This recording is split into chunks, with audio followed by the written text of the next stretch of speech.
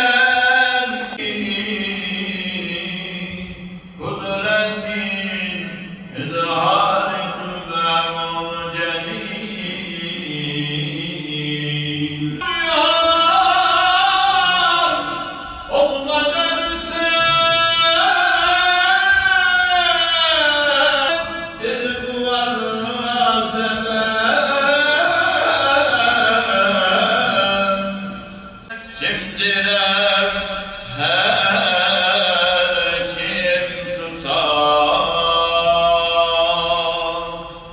Belki diler bu duada bulunan bütün geçmişlerin ruhları için Allah rızası için El Fatiha.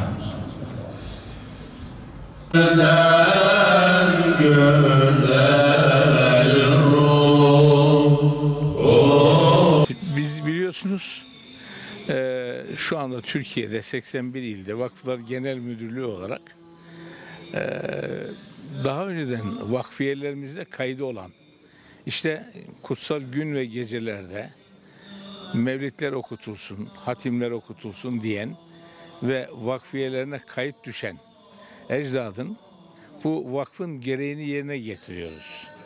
Ve her kandilde bunu yapıyoruz. Ee, tabii ecdadımızdan Allah razı olsun.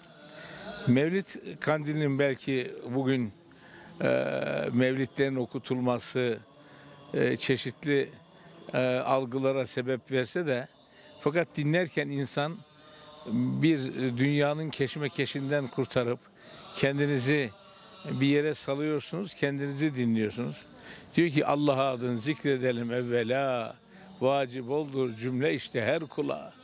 Yani bir nevi Allah'ı hatırlatan, Peygamber Hazreti Muhammed Aleyhisselam'ı hatırlatan bu güzel e, sözler ve dizeler insanımızın maneviyatını güçlendiriyor, maneviyatını artırıyor. Buna da dikkat etmek lazım. Allah hayırlara vesilesin. Yani vakfı vakıf yakışır.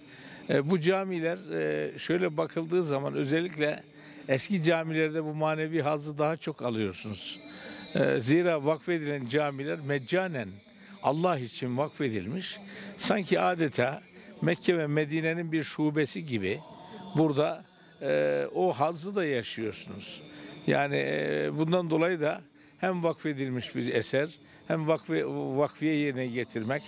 E, bir de şehrimizin Salatin Camii denir. Bunlara eski büyük camiler. Bunlar cuma camilerdir.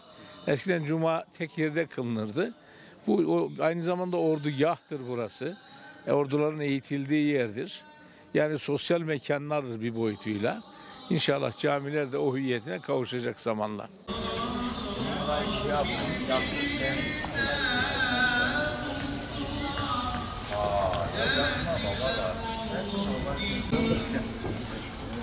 Bu oğlun gibi kadri cemil رحمة للعالمين للمصطفى